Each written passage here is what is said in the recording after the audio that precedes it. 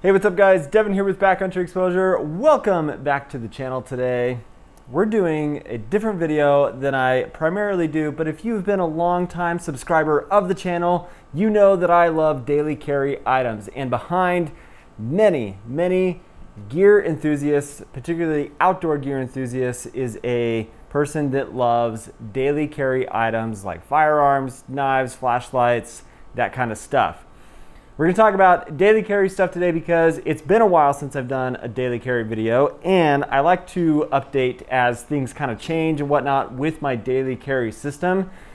And I've got some new items to share with you that have been integrated into just my everyday life. And so we're gonna talk about it, but it's 2020. So I've got one of the most unique everyday carry wearable items that I use every single day, and that's what's on my face. For work, I am required to wear a face mask for the job that I work.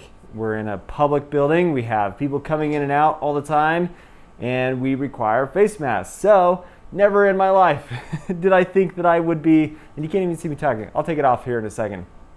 But never in my life did I think that I would be wearing a mask every single day and uh, whatever your opinion is on that, that is your opinion. But uh, for my work situation and being out in public, mask is an important part of everyday life here in 2020. So yes, it is part of my daily carry system. And this is a really cool mask that I got from uh, Cotopaxi. It was about like 10, 13 dollars, something like that. So a little bit of money, but if I'm gonna be wearing this all the time, I want something that is gonna be comfortable and nice to wear. It's got the metal piece here in the front, cool colors, just a good looking mask. So that's the most unique and different daily carry item that I have used ever, probably. So let's move through some of the items that may be less likely for me to carry as a true daily carry item. One of the things that has changed the most for me is the frequency that I carry a flashlight now. I really don't carry a flashlight very often anymore. In fact, I don't honestly remember the last time since the last time I did a daily carry update video, which was about nine months or so ago. And normally when I do carry a flashlight, it's this Fenix PD25, but to be quite honest guys, I've simplified my system and I'm not carrying a flashlight every single day like I used to. But when I do, the Fenix PD25 is my go-to. I really do love this flashlight, the form factor and everything about it. Just a fantastic light.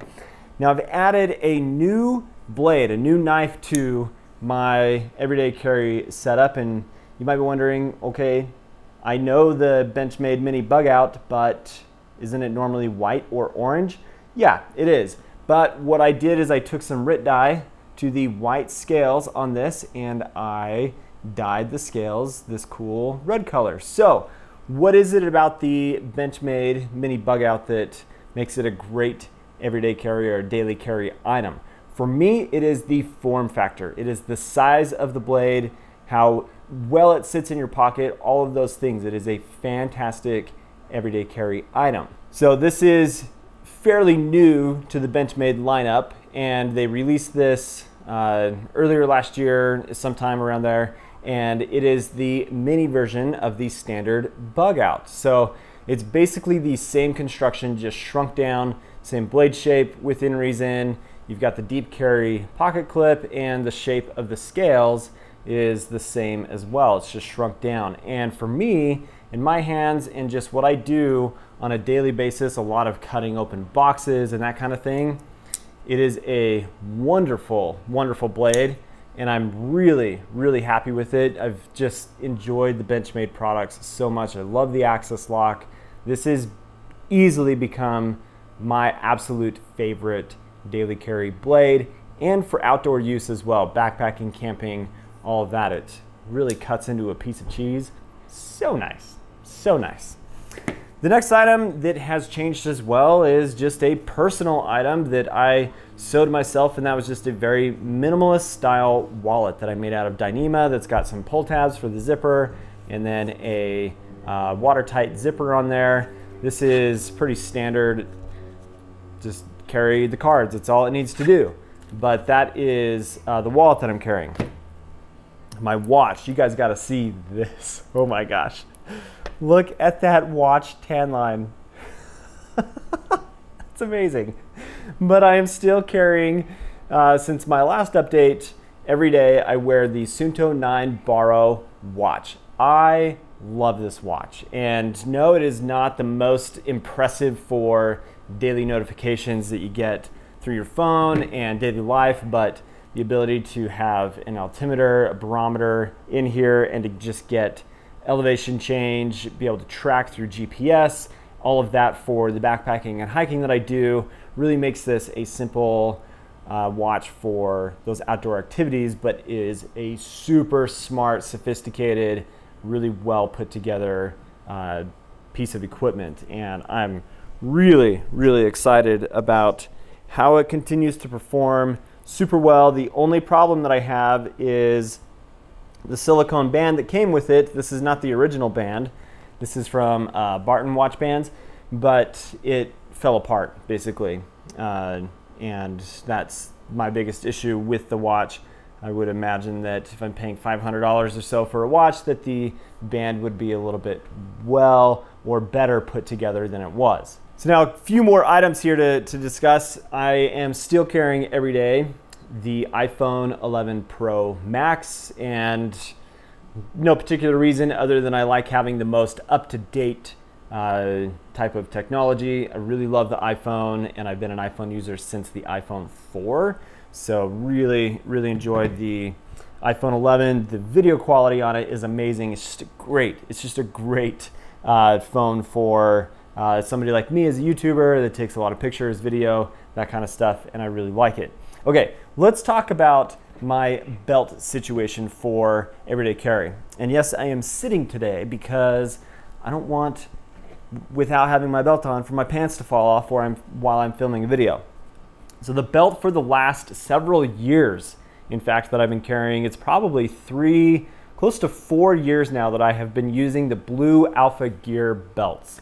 This is a prototype belt that I've been wearing and providing feedback for them for a long time. It's got a different style buckle than the standard uh, Blue Alpha Gear buckles, but the overall like concept and design is basically the same, but this is a single layer nylon belt and this is enough for uh, rigidity in a belt that it works to carry my Glock 42 as my everyday carry firearm.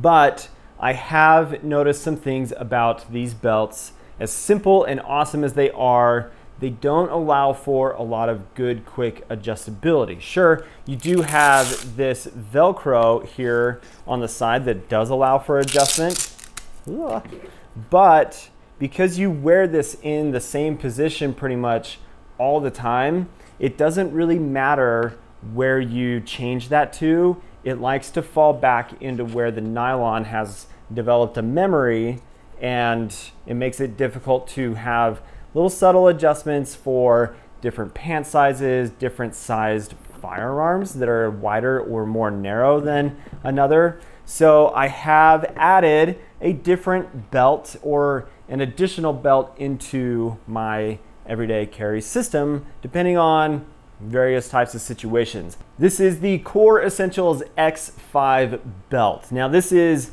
also a nylon belt like the Blue Alpha gear, but it has a ton of rigidity. You can see that it is going to be able to carry and handle a lot of weight when you're carrying a firearm and maybe an extra magazine for your firearm or whatever other kinds of things you might be carrying on your belt.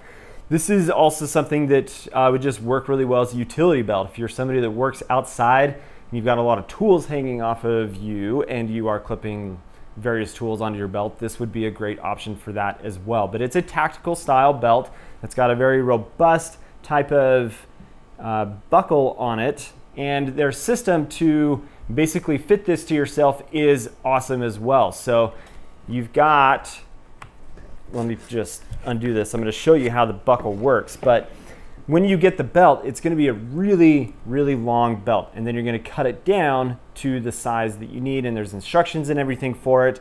But you undo these screw heads right here. You pop this open and then you cut the belt to the size. You slide this back into the buckle, clamp it down, screw these down, and it holds more securely the belt uh, piece in place. And then the only moving parts that you have on the belt is this little piece right here. And what this is, is a ratchet system. If you see here on the inside of the belt, you've got this piece that is basically a type of ratchet. So when you slide the belt in, hopefully you can hear this, it's going to ratchet and lock itself in place. So I can pull on this as hard as I want. But the best thing, and the reason that I picked this up, is it allows for micro adjustments for if I've got a smaller or bigger firearm, then I'm able to adjust this really easy. So I can go incremental adjustments, or I just push this little tab right here that allows that to release from the ratchets, and then I can slide that in. So it's a really cool, robust, just awesome design. Mission Belts also has a pretty similar concept for their system as well. So it's cool to see other companies that are kind of incorporating this into a tactical type of situation. But I've really enjoyed the Kore Essentials X5. It's a little bit more rigid than I'm used to with having worn this single layer nylon belt for so uh, many days and, and years at this point but I really do enjoy this. So the Kore Essentials X5 belt. So there you go, guys. That uh, that's my 2020 pandemic. Put my mask back on so I am officially uh, properly dressed here in 2020. So there you go. That's my daily carry system, an update for 2020. I really appreciate you guys watching today. A little bit different video. I know that it's not necessarily backpacking focused, but I know you guys enjoy seeing these things and uh, would love your comments. If you're not subscribed to the channel, do subscribe. Hope you guys have an awesome day. We'll catch you in the next video. See you later.